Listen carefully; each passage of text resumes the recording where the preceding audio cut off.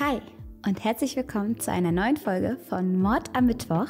Ich freue mich sehr, dass ihr wieder eingeschaltet habt und hoffe, dass es euch allen gut geht. Und ich habe heute einen kleinen Begleiter dabei. Ja, was soll ich sagen? Draußen sind die ersten Blätter braun und ich bin schon voll im Weihnachtsfeeling. Also habe hier schon meine Kerzen aufgestellt. Und ich muss ja sagen, es kann ein Abend sein wie jeder andere. Es kann die absolute Routine sein, der absolute Arbeitsalltag. Aber mit einer Kerze, ne, fühlt sich das alles direkt nach Luxus an. Man liegt im Bett, man isst irgendwelches Fastfood, schaut seine Netflix-Serie. Aber mit einer Duftkerze daneben hat man direkt das Gefühl, man, man wäre hier im Wellnessbereich. Man wird sich was Gutes tun tun. Ist doch toll, oder? Und deswegen ähm, glaube ich, ist es etwas, was uns jetzt häufiger begleiten wird. Also ihr zu Hause, macht euch doch auch ein Kerzchen an, schenkt euch euren Tee ein, macht euch einen Kakao mit Sahne ready. Wir ähm, lassen es uns gut gehen. Das ist tatsächlich eine typische IKEA-Duftkerze. Ihr kennt es alle, ne? Man geht zu IKEA wegen tausend Sachen, vergisst die Hälfte davon, aber investiert in Millionen Duftkerzen. Ja, glaube, das ist so ein, so ein Allgemeingesetz. Ich glaube, man kann nicht in den Ikea gehen, ohne mit einer Kerze da wieder rauszukommen. Das geht einfach nicht. Das ist irgendwas Physikalisches. Fragt mich nicht. Der Duft hier ist auf jeden Fall ähm, schokoladig. Finde ich schön. Mag ich gerne. So süß ist ja nicht für jedermann was, aber ich muss sagen, ich lieb's.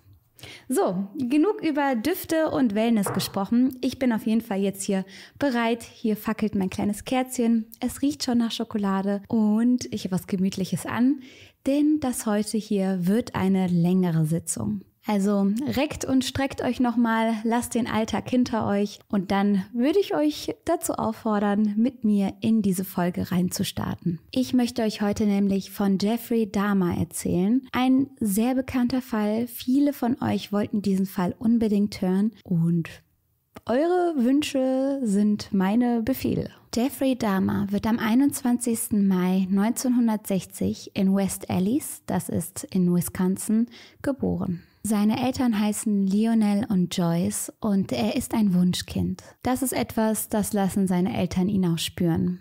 So wächst er bis zu seinem sechsten Lebensjahr als glückliches, unbeschwertes Kind auf, dem die Welt zu Füßen liegt. Dann plötzlich verwandelt sich Jeffreys Verhalten schlagartig. Die genaue Ursache ist hier sehr schwer zu benennen. So wie es häufig ist, treffen verschiedene Ereignisse aufeinander. So zieht die Familie um.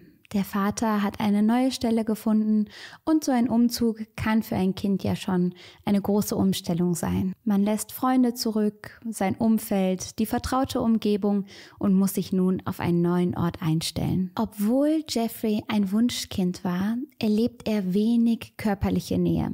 Also er weiß, dass seine Eltern ihn lieb haben, aber es wird unwahrscheinlich wenig gekuschelt. Es heißt, Jeffreys Mutter hätte eine Art Putzzwang gehabt. Das heißt, alles musste klinisch sauber sein, jede Ecke wurde geschrubbt und gewischt und Jeffrey wurde gebadet und gewaschen und bevor Jeffrey praktisch steril war, wurde nicht gekuschelt und auch danach waren Körperlichkeiten eher eine Seltenheit. Was ja total wichtig ist für ein Kind. Ich weiß noch, so das habe ich ganz, ganz doll gebraucht. Gerade als Kind konnte ich zum Beispiel nur einschlafen, wenn ich auf meiner Mama draufgelegen habe, wenn ich wirklich direkt gespürt habe, dass jemand in der Nähe ist. Und ein Kind braucht Zuneigung, ein Kind braucht Wärme, ein Kind braucht Kuscheleinheiten. Und all das ist etwas, was Jeffrey so nie gespürt hat. Dazu kommt. Uh, es hat geklingelt. Freunde, ich bin so bedient. Es hat hier gerade geklingelt. Oh mein Gott. Also ich versuche mich ja selten aufzuregen und meistens klappt es ja auch. Und ich denke dann immer so, hey, Moment mal, bevor du dich aufregst, wofür kannst du gerade dankbar sein? Aber ich will mich kurz aufregen. Ich habe nämlich für das Arbeitszimmer hier, für euch auch, damit es einfach schöner aussieht, einen großen Spiegel im Internet bestellt. Ich will nicht mal sagen, wo. Ich will nicht mal, ich will nicht mal shady sein, aber ich habe den da bestellt und lange drauf gewartet und dann ist der kaputt geliefert worden. Also ich habe ihn ausgepackt und zack, also da war ein riesen Riss drin, Katastrophe. Hab dann gefragt, hey, ich möchte ihn gern zurückgeben, der ist kaputt geliefert worden. Hier sind meine Bilder und Belege und Beweise und dann hat das auch endlich geklappt nach vielem hin und her. Es hat gerade der Paketbote geklingelt und ich bin sofort runter, da war der schon wieder weg, hat mir das Paket halt einfach in den Flur gestellt ich heb das an und ich höre schon die Glasscherben. Oh, so ärgerlich. Einfach beide Spiegel komplett kaputt geliefert und er war halt direkt weg. Er 100 Prozent. Ich weiß, es ist ein verdammt harter Job, Paketbote zu sein, gerade bei dem Wetter. Aber er hat 100 Prozent gehört, dass der Spiegel kaputt war. Ich habe es nur angehoben und man hat die Scherben schon gehört und oh, das macht mich so traurig, weil es natürlich auch um Geld geht und ne, man hat bezahlt und man möchte auch, dass es einfach jetzt mal klappt und jetzt wieder zurückschicken und wieder den ganzen Prozess. Oh mein Gott. Naja, jammern auf hohem Niveau. Es gibt weitaus schlimmere Dinge. Aber ich bin hier gerade die Treppen wieder hoch und ich dachte mir so, Manometer, wirklich.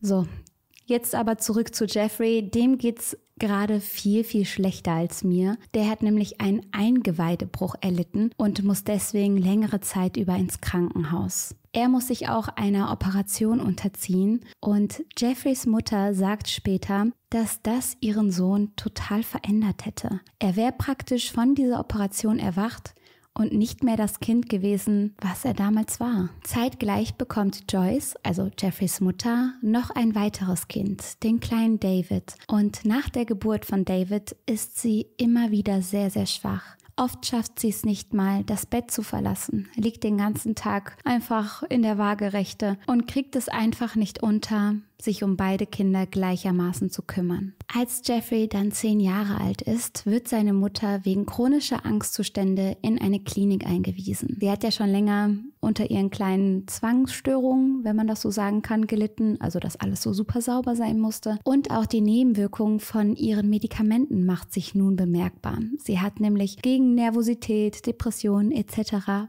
wahnsinnig viele Tabletten genommen. Also ich glaube, es waren so zehn pro Tag, also ganz krass wild durcheinander gemixt in der Hoffnung, irgendwie dadurch beruhigt zu werden. Und die haben natürlich alle Nebenwirkungen, die sich jetzt ganz krass äußern. Joyce zieht sich immer weiter zurück, hat keine Kraft, ihrem Sohn Liebe zu schenken, Aufmerksamkeit zu geben und kümmert sich um sich. Und auch außerhalb seiner Familie fühlt sich Jeffrey sehr alleine. In der Schule ist er das komische Kind. Wir wissen alle, Kinder sind ziemlich gemein. Und da ist dann so ein Jeffrey, der immer alleine in der Ecke rumsteht und andere Interessen hat als die anderen Kinder. Und selbstverständlich wird der dann sofort als Außenseiter betitelt und geärgert. So gemein, Mann. Das Ganze lässt Jeffrey dann auch an seinem Selbstbewusstsein hadern. Er ist sehr unsicher. Er hat das Gefühl, keine Freunde finden zu können und zieht sich deswegen immer weiter zurück. Und das ist ja ein Teufelskreis. Jeffrey, der denkt, ach, ich schaff's eh nicht, Freunde zu finden, versucht's daraufhin gar nicht erst, zieht sich weiter zurück und so bleibt er natürlich alleine. Stattdessen fängt er nun damit an, sich seine eigenen speziellen Hobbys zu suchen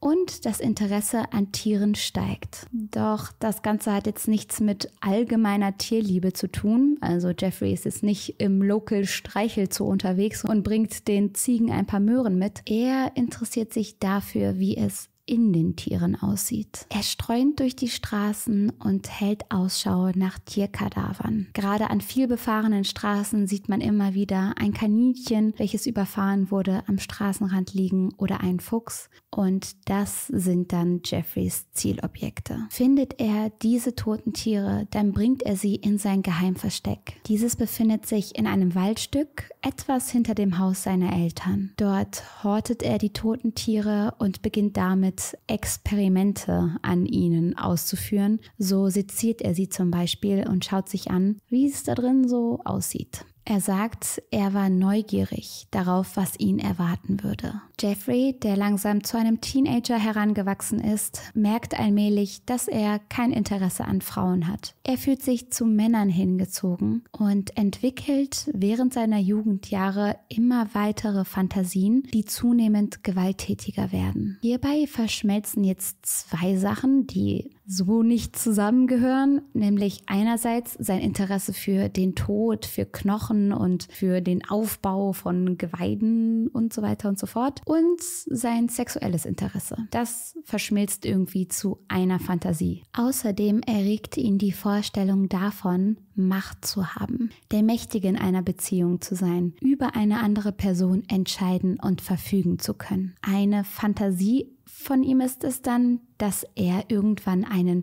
Anhalter, der ganz dünn und wenig behaart, das war ganz wichtig für Jeffrey, ist, ähm, den aufzugabeln, mit nach Hause zu nehmen und dort Dinge mit ihm anzustellen. Eine andere Fantasie wird bei ihm durch das Bild eines toten Motorradfahrers geweckt. Als er das Bild in der Zeitung sieht, es ist ein Mann, der tragischerweise bei einem Motorradunfall ums Leben gekommen ist, erregt ihn das. Er geht dann sogar auf die Beerdigung dieses fremden Mannes. Mittendrin, während der Zeremonie, entschuldigt er sich, steht auf, geht auf die Toilette und masturbiert dort. Ihn habe der Anblick des toten Körpers dieses Mannes zu sehr erregt. Er habe es nicht mehr ausgehalten. Im gleichen Alter macht Jeffrey dann die ersten Bekanntschaften mit dem Alkohol, die dann immer häufiger werden. 1978 ist er dann so oft betrunken, dass ihm der Rauswurf aus der Schule bevorsteht. Schon um 8 Uhr morgens sitzt er mit einer Alkoholfahne neben seinen Mitschülern. Das Drama wird perfekt, als seine Eltern sich im selben Jahr dann auch noch scheiden lassen. Jeffreys Mutter Joyce nimmt seinen Bruder David mit. Jeffrey bleibt aber irgendwie übrig und zieht so dann zu seinen Großeltern. An der Stelle ganz kurz die Frage, what Wieso fällt hier niemandem etwas auf? Wieso schreitet hier niemand ein? Da ist ein Jugendlicher, der wirklich unbeobachtet auf Beerdigungen geht, betrunken im Unterricht sitzt, auf den keiner aufpasst und Acht gibt und niemand ändert etwas daran.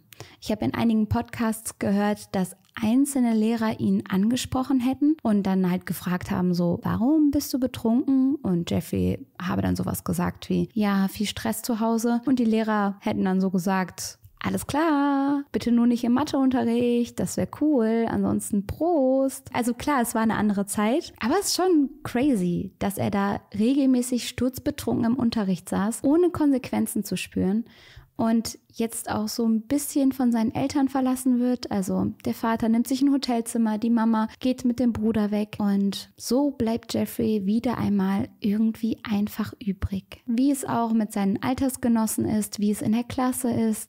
Er ist einfach immer am Ende alleine. 1978 hat er dann das elterliche Haus für sich. Beide sind ausgezogen. Jeffrey, der ja eigentlich bei den Großeltern wohnt, zieht für den Sommer in dieses Haus ein. Einmal sturmfrei haben den ganzen Sommer lang. Ein Traum für einen Teenager. Jedoch soll sich das später als tragische Fügung herausstellen. Kurz nach seinem 18. Geburtstag geht eine von Jeffreys Sexfantasien zum ersten Mal in Erfüllung. Jeffrey fährt eine Straße in Ohio entlang, als er dort plötzlich den 18-jährigen Stephen Hicks entdeckt. Stephen hat an dem Abend versucht, sich zu einem Rockkonzert durchzuschlagen. Per Anhalter ist er schrittweise immer weiter in Richtung Konzert gefahren und steigt auch so dann bei Jeffrey ein. Nicht wissend, was für Hintergedanken Jeffrey schon seit der Sekunde anhat, in der er Steven erblickt hat. Jeffrey schlägt vor, ach weißt du was, das Rockkonzert. Wie toll kann das schon sein? Komm doch einfach mit zu mir. Wir machen uns einen schönen Abend, trinken etwas zusammen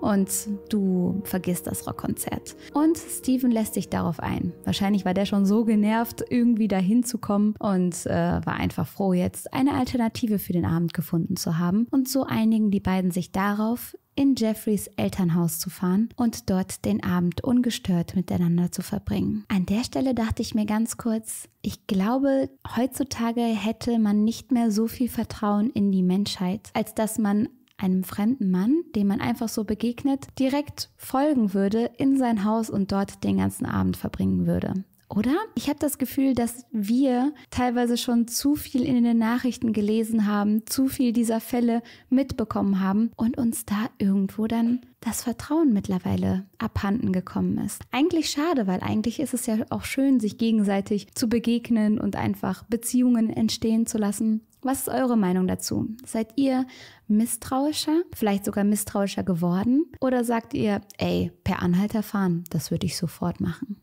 Der Abend scheint wohl ganz lustig zu verlaufen, die beiden quatschen, haben eine gute Zeit. Doch Steven wird irgendwann ein bisschen ruckelig so und will sich aufmachen, um zu gehen. Und Jeffrey bemerkt das. Er bemerkt, dass Steven langsam ungeduldig wird, dass er im Inbegriff ist, aufzustehen und das will er nicht zulassen. Jeffrey möchte diesen Menschen nicht wieder gehen lassen. Er möchte, dass er ihm gehört. Und um zu verhindern, dass Steven ihn verlassen kann, schlägt er ihn mit einer Hantel nieder und erwürgt ihn anschließend. Als Steven sich nicht mehr wehrt und leblos am Boden liegt, zerstückelt Jeffrey ihn. Und so konnte Steven ihn nicht mehr verlassen. Und Jeffrey war überglücklich. Das war für ihn der Inbegriff einer perfekten Beziehung. Ein Partner, der für immer bleiben muss. Keiner Niemand hatte eine Ahnung davon, was über ein Jahrzehnt lang geschah, sagt Jeffrey dann später über das aus, was damals passiert ist. Der erste Mord war nicht geplant, sagt Jeffrey. Er habe lediglich darüber nachgedacht, einen Anhalter mitzunehmen, um ihn zu kontrollieren. Jeffrey tritt nun bei der Armee ein und ist sogar eine Zeit lang in Deutschland stationiert. Und nun geht fast ein Jahrzehnt ins Land, ohne dass Jeffrey seiner Mordlust nachgeht. Er sagt, es gab einfach nicht die Möglichkeit, das, was ich tun wollte, voll und ganz auszuleben. Es gab damals einfach nicht die physische Möglichkeit, es zu tun. Jedoch sagt er, der Drang sei immer da gewesen. Das ist so krass. Stellt euch mal vor, ihr wart einer der Kollegen von Jeffrey, einer der anderen Soldaten, habt euch vielleicht sogar ein Hochbett mit ihm geteilt und hört nachher in einem läppschen Interview ganz nebenbei, dass er die ganze Zeit über Mordfantasien hatte. Vielleicht sogar dann mit euch. Jedoch begeht er andere Straftaten in seiner Zeit bei der Armee. So heißt es, dass er zwei Soldaten vergewaltigt hat, die den schrecklichen Angriff glücklicherweise aber beide überleben. Das Schlimme hierbei ist, dass es noch eine ganz andere Zeit war. Homosexualität war ein großes Tabuthema. Jeffrey hat selber mal in einem Interview gesagt, Homosexualität war etwas, da hast du nicht drüber gesprochen. Da hast du am besten gar nicht erst drüber nachgedacht. Als Soldat zu erzählen, dass man von einem anderen Mann vergewaltigt wurde, da hätte einen niemand ernst genommen. Niemand hätte einem zuhören wollen. So schrecklich das auch klingt und so weit entfernt das glücklicherweise von unserer heutigen Realität ist, wo wir wissen, dass Sexualität viele Facetten hat und dass die Sexualität nichts darüber aussagt, wie wertvoll ein Mensch ist, weil wir alle wertvoll sind. Das ist dann so schwer zu verstehen, dass es mal ganz, ganz anders war. Aber so war es damals. Später im Fall wird es auch noch ein ganz großes Thema, da die Polizei die Vorwürfe der Männer nie richtig ernst genommen hat. Wenn sie etwas über Jeffrey Dahmer ausgesagt haben, hieß es immer, ach ja, um Gottes Willen, was ihr Schwulen so macht, das sei euch überlassen. Wir wollen gar nicht wissen, was ihr dafür perverse Spielchen treibt. So war damals der Tonus. Und dass diese Mitsoldaten sich nie ausgesprochen haben. Ich glaube, der eine jetzt erst relativ vor kurzem so. Das passt leider Gottes in diese Zeit, da man sie wahrscheinlich eh nicht ernst genommen hätte, nicht hätte zuhören wollen, das Ganze einfach hätte verschweigen wollen. Ein Mitsoldat von Jeffrey mit dem Namen Billy Cosby spricht sich mittlerweile über seine Erlebnisse mit Jeffrey aus. Er ist damals kaum 17 Jahre alt, als er in die US-Armee eintritt. Es ist 1977 und er ist aufgeregt, hat Hoffnungen, hat Erwartungen an die Zeit, ist gespannt, was ihm bevorsteht und wird seinen Zimmergenossen zugeteilt. Er lebt mit Jeffrey Dahmer zusammen auf engstem Raum und über 18 Monate lang wird er von Jeffrey gefoltert werden. Jeffrey hat es irgendwie geschafft, völlige Kontrolle über Cosby auszuüben. Dieser hatte ab irgendeinem Punkt keinen Kontakt mehr zu den anderen Soldaten. Er hat sich nicht getraut, mit irgendwem zu reden, mit irgendwem seine Erlebnisse zu teilen, geschweige denn über Jeffrey zu sprechen. Cosby sagt später, dass Jeffrey am Anfang super freundlich gewirkt hätte. Ein Mann mit Ausstrahlung, mit Charisma, der sogar lustig war, einnehmend. Er hatte sich gefreut, mit ihm auf einem Zimmer zu sein. Doch schon nach ein paar Tagen hätte sich das Blatt gewendet. Cosby habe schnell Angst bekommen vor Jeffrey. Jeffrey habe immer wieder versucht, Kontrolle über ihn auszuüben. Das Ganze hat dann mit verbaler Gewalt begonnen. Worte wie du Weichei, du Lusche seien immer wieder gefallen. Irgendwann habe Jeffrey ihn dann auch zum ersten Mal geschlagen. Und das, was jetzt in der kommenden Zeit passiert ist, ist so krass. Denn Jeffrey hatte zum Beispiel den einzigen Schlüssel zum Zimmer. Er hat also kontrolliert, wann Cosby den Raum verlassen und wann er eintreten darf. Immer wieder hat er seinen Mitbewohner aufs übelste verletzt und beleidigt. Wenn Cosby gesagt hat, ich sag das den Vorgesetzten, hat Jeffrey nur mit weiterer Gewalt gedroht und es so geschafft, Cosby komplett zu kontrollieren. Einmal versucht Cosby sogar abzuhauen und ihm gelingt die Flucht sogar, jedoch kann man nicht einfach so von der Armee abhauen, dann ähm, ja, erwarten einen Strafen keine Ahnung. Auf jeden Fall ist es nicht möglich, dass man einfach von einem Tag auf den anderen seinen Dienst da schmeißt und die Biege macht. Und so weiß Cosby, dass er zurückkehren muss. Und ihn erwartet natürlich wieder neue Gewalt, die diesmal extra hart ist. Cosby glaubt mittlerweile auch, dass Jeffrey ihn in diesen 18 Monaten der Tortur regelmäßig unter Drogen gesetzt habe. Er erinnert sich zum Beispiel daran, plötzlich ganz benommen aufzuwachen, ohne Erinnerung daran, was vorher passiert ist. Gefesselt gefesselt an sein Bett und Jeffrey, der vor ihm steht. So ein Albtraum. In der Ohnmacht von Cosby hat sich Jeffrey auch immer wieder an ihm vergangen. Als der Einsatz irgendwann beendet ist, kommt Cosby erleichtert zurück nach Amerika. Er ist so froh, Jeffrey nun aus dem Weg gehen zu können. Jedoch ist er nach wie vor super verängstigt und leidet zum Beispiel am posttraumatischen Belastungssyndrom, hat Albträume und kann nur schlecht schlafen. Etwas, das ihm noch unfassbar lange nachrennen wird, ist, dass er nichts sagt. Cosby versucht all das, was geschehen ist, zu verdrängen, redet mit niemandem darüber und versucht es einfach zu vergessen. Etwas, das ich absolut nachvollziehen kann, da so eine schwere und schreckliche Zeit nur schwer zu verarbeiten ist und der Gedanke, da wieder drüber reden zu müssen und das wieder hervorzurufen, das ist wirklich heavy. Jedoch sagt er, hätte ich es nur getan, hätte ich mal nur über ihn gesprochen und gesagt, was er für ein Mensch ist, was er für ein Monster ist, vielleicht hätte ich die ein oder oder andere schreckliche Tat verhindern können. Während Cosby diesen inneren Kampf mit sich kämpft, kommt Jeffrey nach Amerika zurück und lebt sein Leben weiter. Seinen Job in der Armee verliert er schon bald, da er regelmäßig viel zu betrunken ist. Kurz darauf wird er auch zum ersten Mal wegen Ordnungswidrigkeit und Trunkenheit verhaftet. Er erhält aber nur eine Geldstrafe und eine Strafe auf Bewährung. Seine Eltern, die mittlerweile endlich was von seinem Alkoholkonsum mitbekommen haben, schicken Jeffrey daraufhin zu seinen Großeltern. Sie hoffen, dass die noch einen Einfluss auf Jeffrey hätten dass die noch irgendwas regeln könnten, ihn auf die gerade Bahn zurückstupsen könnten. Aber das klappt nicht. Auch bei seinen Großeltern wird Jeffrey mehrfach verhaftet. Unter anderem zum Beispiel, weil er sich in der Öffentlichkeit entblößt. Ein anderes Mal wird er wegen öffentlichem Onanieren verhaftet. Abends ist Jeffrey gerne in Bars unterwegs. Klar, da gibt es auch was zu trinken, wenn ihr versteht.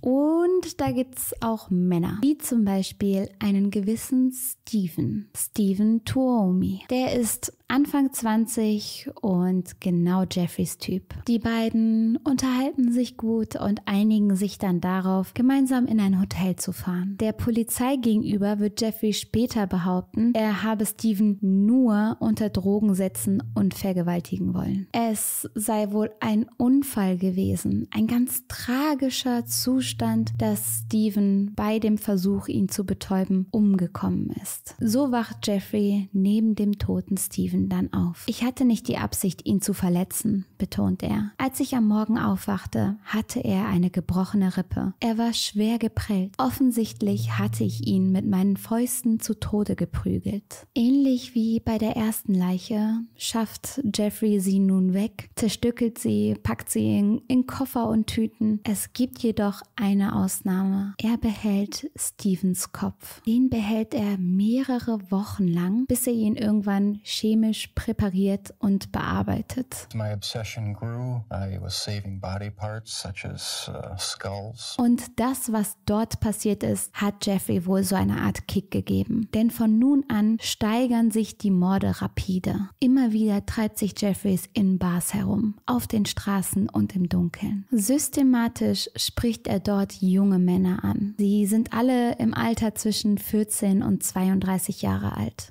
Gerade Schwulenclubs oder Badehäuser, so Saunahäuser, sind sein Go-to-Place. Deswegen waren viele seiner Opfer selber schwul. Es war nicht selten, dass sie extrem einsam und verletzlich waren, dass sie von zu Hause flüchten mussten, weil sie schwul waren, dass sie sich verstecken mussten, dass sie ihre Zuneigung Männern gegenüber im Geheimen halten mussten. Und deswegen waren sie für Jeffrey das perfekte Opfer. Verletzlich und auf der Suche nach Liebe und Aufmerksamkeit. Einige dieser Männer träumten davon, es irgendwann mal ganz groß rauszuschaffen, auf der Bühne zu stehen oder Titelbild eines Magazins zu sein. Und Jeffrey hatte eine Masche, mit der er gerade diese Männer geködert hat. Er hat ihnen nämlich immer wieder angeboten, Bilder von ihnen zu machen. So dieser mysteriöse Künstler in der Bar-Type. Hey, du siehst so gut aus. Komm mit mir nach Hause, ich will Fotos von dir machen. Die Männer, die sich daraufhin geschmeichelt gefühlt haben, sind gerne mit ihm gegangen. Was sie nicht wussten, ist, dass in den Drinks, die Jeffrey dann verabreicht hat, Schlafmittel untergemixt waren. Waren sie einmal betäubt und eingeschlafen, missbrauchte Jeffrey sie und tötete sie danach.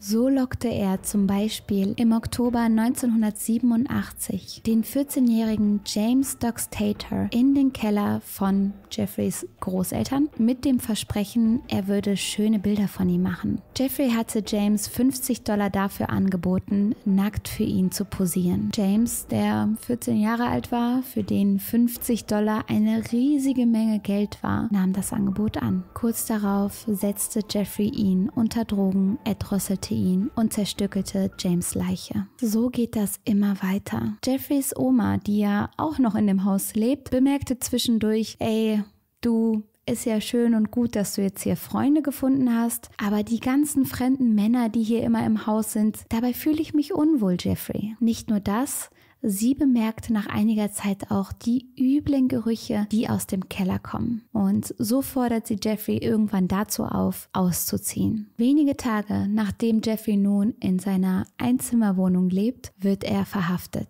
Und an der Stelle muss ich direkt sagen, leider wird er aber nicht gestoppt werden. Ein 13-jähriger Junge, der zuvor auch in Jeffreys Wohnung gelockt, betäubt und vergewaltigt wurde, konnte fliehen oder wurde von Jeffrey freigelassen und ist zur Polizei gerannt. Dort hat er den Vorfall mit Jeffrey dann gemeldet, woraufhin die Polizei ihn verhaftete. Und jetzt haltet euch fest, wird Jeffrey zwar verhaftet und verknackt, kommt jedoch nach einer Woche nach Bezahlung einer läppschen Kaution wieder frei. Er hat nachweislich eine schreckliche Tat an einem Kind begangen und kommt nach einer Woche wieder frei, ohne dass man weitere Ermittlungen anstellt. Jeffrey war zu diesem Zeitpunkt ja schon ein beschriebenes Blatt. Es gab so viele Opfer, die bereits auf seiner Liste standen, die teilweise überlebt haben, zum größten Teil jedoch bereits tot waren. Und dieser Mann saß im Gefängnis, wurde von der Polizei verhaftet und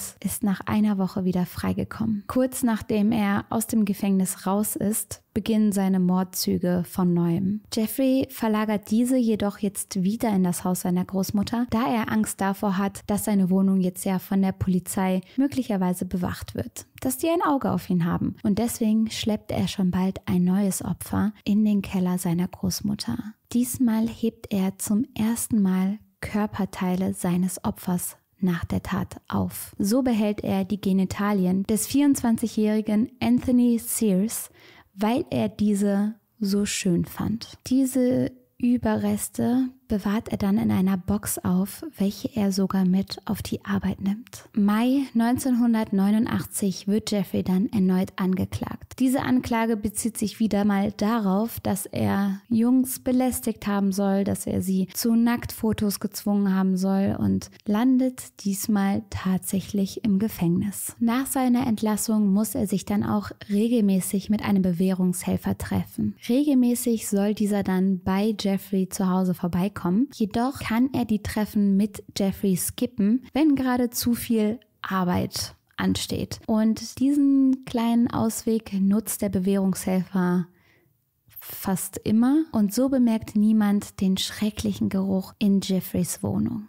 Auch die vielen menschlichen Überreste, die mittlerweile überall gelagert werden, fallen so niemandem auf. Jeffrey fängt nun damit an, nicht nur einzelne Körperteile seiner Opfer aufzubewahren, sondern auch Fotos von den Leichen zu machen. Mit einer Polaroid-Kamera bewaffnet, stellt er sich dann über die Körper und fotografiert diese. Und das ist ja die pure Machtausübung. Das ist ja genau das, wonach Jeffrey sich immer gesehnt hat. Dass da jemand ist, der sich nicht mehr wehrt lernen kann, nicht mehr gehen kann und vollkommen von Jeffrey kontrolliert wird. Why did you photograph them? It was my way of remembering their appearance, their physical beauty. Er kann über die Körper nun verfügen, entscheiden. Er kann sie fotografieren, er kann sie kochen, denn ja, auch das tut er. Er kann sie mit zur Arbeit nehmen, er kann sie zerstückeln. Es liegt alles in seiner Hand und in seiner ganz alleine. Als sich Nachbarn dann irgendwann über den schrecklichen Geruch im Flur, der aus Jeffreys Wohnung zu quallen scheint, beschweren, hat er auch eine Ausrede parat. Er sagt, sein Kühlschrank sei kaputt, ein bisschen was vom Essen sei deswegen verdorben und er würde sich drum kümmern. Keine Sorge. Sowas würde bei uns in der Hausgemeinschaft gar nicht gehen. Ähm, wir haben hier so den ein oder anderen Sheriff, der auch mal darauf achtet, ob der Müll richtig getrennt ist. Also so ein Jeffrey hätte hier gar keine Chance. Würden die Nachbarn aber richtig klopfen gehen. Jeffrey beginnt irgendwann dann auch damit, Teile seiner Opfer zu essen. Ja, ist ziemlich heavy. Er sagt darüber, dass das ihm das Gefühl gegeben habe, er würde nun einen Teil von ihnen besitzen. Und seine Experimente werden zunehmend grotesker. An der Stelle mit einem sanften Magen, nee, wie sagt man, mit einem leichten Magen, kurz mal eine Minute skippen weil das ist jetzt schon eine heftige Szene, die aber dazu gehört, um das zu beschreiben, was Jeffrey vorhatte. Denn er wollte nun einen seiner Opfer in einen zombieartigen Zustand verwandeln. Es hat den 19-jährigen Errol Lindsay getroffen. Jeffrey hat diesen, wie alle anderen, erst betäubt, anschließend dann unter Drogen gesetzt. Das hat ihm aber nicht gereicht. Er hat ihm ein Loch in den Schädel gebohrt und dort Salzsäure reingekippt, in der Hoffnung, eine Art Frankenstein damit zu erschaffen, ein willenloses Zombie, was ihm für immer gehorchen und gehören würde. Also komplett crazy. Und Errol kommt sogar noch zu Bewusstsein. Er leidet unter immensen Schmerzen, versucht in diesem Zustand dann sogar noch abzuhauen, wird aber sofort von Jeffrey übermannt und getötet. Dieser Fall hier ist immer wieder von groben Fehlern der Polizei geprägt. So kommt es einmal dazu, dass Jeffrey eine Leiche bei sich zu Hause liegen hat, was ja leider Gottes keine Seltenheit ist, als er einen 14-jährigen Jungen zu sich in die Wohnung lockt. Diesen versucht er erneut hirntot zu machen, mit der ähnlichen Methode, wie er es bei Errol versucht hat. Ziel hierbei ist, wie gesagt, ein willenloses Zombie zu haben, was permanent für ihn da ist. Er beginnt also mit der Prozedur und hält irgendwann inne, lässt den betäubten Körper neben der Leiche liegen, um etwas draußen zu erledigen. Als er dann in den frühen Morgenstunden, also eine gute Zeit später wieder nach Hause kommt, sieht er den benommenen Jungen vor dem Wohnhaus sitzen. Der weiß gar nicht, wo unten und oben ist. Ähnlich wie Errol hat er aber das mit dem Loch im Schädel überlebt und wohl versucht zu flüchten. Um diesen Jungen herum stehen drei Frauen. Jeffrey der nicht auf den Kopf gefallen ist, versucht sofort die Situation aufzuklären. Er sagt, ey, macht euch keine Sorgen um den Jungen, das ist mein Freund, ich kümmere mich um ihn. Vielen Dank, dass die Damen sich so lieb um ihn gekümmert haben, ich übernehme jetzt. Die Frauen sagen aber, mm -mm, wir haben die Polizei bereits gerufen und du trittst jetzt mal einen Schritt von dem Kind zurück. Die Polizei kommt nun und man könnte meinen, der Fall wäre hiermit abgeschlossen. Sie sehen das schwer misshandelte Kind. Sie sehen Jeffrey, der wild, fuchtelnd versucht zu erklären, wie es dazu gekommen ist. Und sie glauben ihm. Sie glauben ihm, dass er der Freund des Jungen ist, dass die beiden zu viel getrunken hätte. Oh, ein dummer Unfall.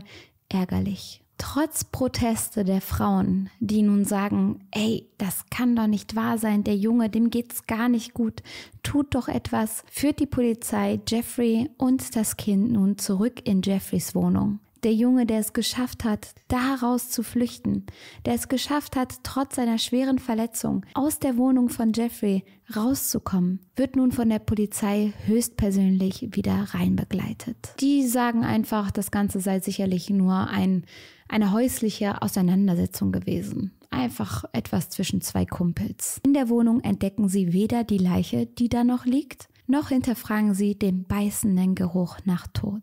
Die Frauen, die es immer noch nicht fassen können, dass man den Jungen, der so schwer verletzt wurde, mit diesem seltsamen Mann hat gehen lassen, protestieren nun auf der Straße. Sie schreien, sie wehren sich und die Polizei droht nur damit, sie zu verhaften, wenn sie nicht endlich leise wären. Während die Polizei sich nun also um die protestierenden Frauen kümmert, schließt Jeffrey die Wohnungstür in aller Ruhe und geht auf den Jungen zu. Den fesselt er nun. Kurz darauf tötet er ihn. Und das ist so tragisch. Es ist so, so schrecklich, wenn man überlegt, die Polizei war vor Ort. Sie haben Opfer und Täter gesehen und sie zusammen wieder an den Ort des Schreckens geführt. So geht es dann immer weiter. Jeffreys Mordlust nimmt weiter zu. An einem Tag tötet er sogar zwei Männer. Irgendwann ist es dann ein Montagabend. Ein Montagabend wie jeder andere. Jeffrey ist wieder einmal auf der Suche nach einem nächsten Opfer. Diesmal soll es der 32-jährige Tracy Edwards werden. Kurz zuvor haben die beiden sich kennengelernt und Jeffrey ihn dazu überredet, zu ihm rauf in die Wohnung zu kommen. Als Edwards nun die Wohnung von Jeffrey betritt, bemerkt er sofort den stechenden Geruch von Säure.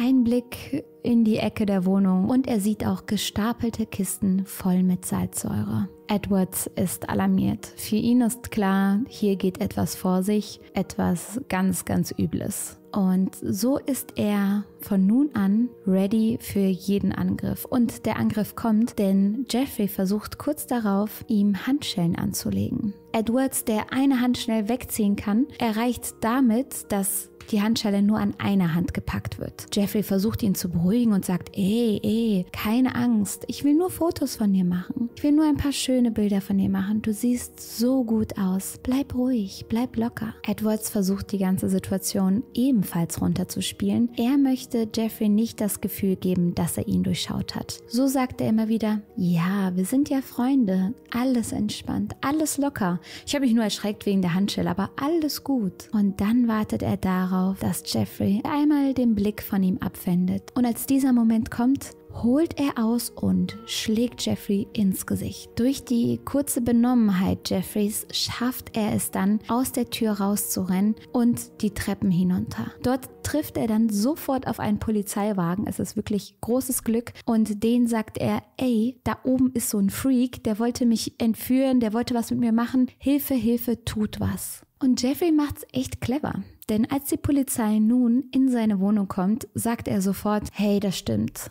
Mit den Handschellen, da hat mich was überkommen, es tut mir total leid. Ich weiß auch nicht, was da in mich gefahren ist. Er gibt sozusagen diese kleine Tat sofort zu, räumt seine Fehler ein, hofft damit wahrscheinlich die Polizei beschwichtigen zu können. Diese steht jetzt in seiner Wohnung im Schlafzimmer von Jeffrey, denn dort soll irgendwo der Schlüssel für die Handschellen liegen. Und als Jeffrey danach kramt, fällt einem der Beamten plötzlich ein Bild auf. Es ist ein Polaroid-Bild in einem der Nachttische von Jeffrey. Und bei weiterem Hinschauen sieht er dann, was darauf abgebildet ist. Es sind die Bilder der Leichen, die Jeffrey gemacht hat. Als Jeffrey sich nun umdreht und sieht, dass die Polizei die Bilder entdeckt hat, versucht er sofort zu fliehen. Er wird jedoch überwältigt und es wird schnell Hilfe geholt. Überall in Jeffreys Wohnung findet man nun Körperteile, Köpfe und Geschlechtsorgane. Seine Opfer waren in verschiedenen Stadien des Zerfalls. Es hat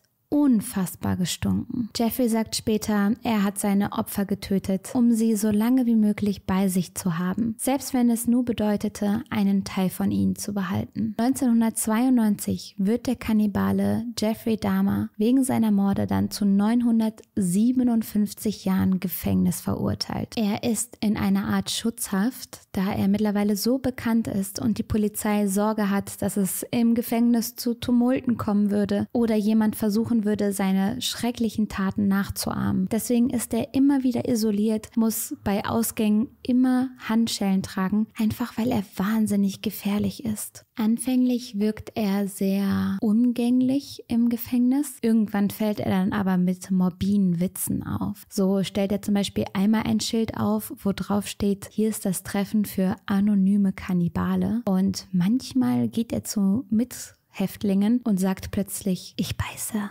pass auf, ich beiße. Und wenn diese sich dann erschrecken und zurückweichen, freut er sich. Uah. Beim Gefängnisessen tut er dann so, als seien das Körperteile seiner Opfer und schmiert dann da mit dem Ketchup rum. Wie gesagt, freut sich darüber, Angst und Schrecken zu verbreiten. Dann gibt es natürlich auch Fanpost. Wie gesagt, ein Phänomen, was ich echt nicht verstehe. Er bekommt Liebesbriefe, Bekundungen, wie toll man ihn findet. All das bekommt er ins Gefängnis. Wann habe ich meinen letzten Liebesbrief bekommen? Ich weiß es nicht. Ich weiß es nicht. Muss man erst, muss man erst so ein Jeffrey Dahmer werden, um einen Liebesbrief zu bekommen? Also im Ernst jetzt, ich, I don't get it. Ich verstehe diese Faszination nicht. Diese Idealisierung von so schrecklichen Menschen. Er hat schrecklichste Taten vollbracht, hat Familien ihre Kinder genommen, und bekommt Liebesbriefe. Am 28. November 1994 stirbt Jeffrey Dahmer durch die Hand eines Mithäftlings. Jesse Anderson und Christopher Scarver sind mit Jeffrey Dahmer zusammen auf der Toilette in einer Sporthalle im Gefängnis. Und die Wächter sind gerade nicht da. Eine unbeobachtete Minute also. Als die Wächter dann irgendwann wieder zurückkehren, finden sie die erschlagenen Leichen von Dahmer und Anderson auf. Christopher Scarver hat beide in wenigen Minuten getötet. In einem Interview sagt er später, dass er Jeffrey Dahmer verabscheut hat und gibt auf die Frage, ob die Wächter ihn vielleicht absichtlich kurz alleine gelassen haben, keine Antwort. Wow, was ein Fall, was für ein Brett. Ich muss sagen, das ist sehr viel Information. Ich hoffe, ich konnte das einigermaßen strukturiert rüberbringen, weil es einfach unglaublich viel zu diesem Fall zu sagen gibt. Jeffrey hat viele Interviews gegeben und am Ende bleibt nur zu sagen, dass es mir wahnsinnig leid tut für die Familien, die da ihren Sohn, ihren Bruder, ihren Freund verloren haben. Und das alles wegen dieser schrecklichen, absurden Fantasien dieses kranken Mannes. Wirklich. Ihr wisst, ich halte mich mit meinen Urteilen zurück und versuche immer, ne, neutral zu bleiben und zu allem was Nettes zu sagen. Aber in diesem Fall ist es mir nicht möglich. Jeder hat ein Bedürfnis nach Liebe. Jeder möchte sich geborgen fühlen, möchte, dass da jemand da ist für einen. Aber das ist alles kein Grund, so etwas Schreckliches zu tun. Jeffrey hätte jemanden finden können. Jeffrey hatte ja Qualitäten, die Leute auch an ihm geschätzt haben. Aber er hat sich für diesen Weg entschieden. Er hat sich dafür entschieden, andere für seine Bedürfnisse leiden zu lassen. Und das ist unverzeihlich. Ich bin sehr gespannt, was ihr zu all dem denkt. Ähm, wie gesagt, hoffe ich, dass es alles einigermaßen nachvollziehbar war und ich das einigermaßen rüberbringen konnte. Schreibt es mir gerne mal in die Kommentare. Und jetzt wünsche ich euch einen schönen Abend. Passt gut auf euch auf und bis zum nächsten Mal.